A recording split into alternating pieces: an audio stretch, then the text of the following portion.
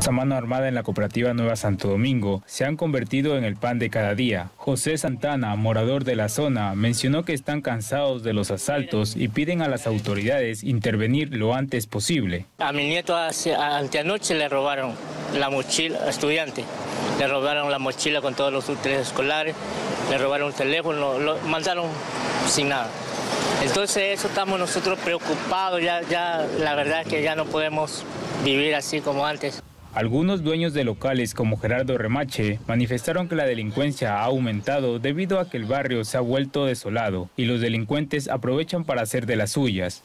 Porque no hay ni quien controle nada. La otra vez aquí te robaron a una señorita.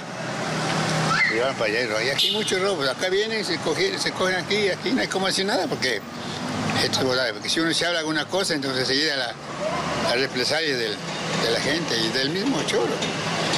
Las calles del sector son otro reclamo de los moradores, debido a que hace algunos años la calle Pablo Neruda era considerada una arteria principal de Santo Domingo, pero fue olvidada por las autoridades de turno. Es un tema que se utiliza en los vehículos, eh, por ende sí tiene repercusión ¿no? en lo que es la amortiguación de los mismos, eh, los vehículos de los muchachos también con el tema de las motos, entonces sí tenemos bastante dificultad con, con la vía. Eh, yo creo que si estuvieran óptimas condiciones, pues nos ayudaría a nosotros a desempeñar mejor nuestro trabajo y por ende puede ayudar a la ciudadanía. El que me importismo del de, señor alcalde, porque la verdad es que esta ha sido una de las primeras cooperativas a nivel de Santo Domingo. Y mire cómo están esas calles.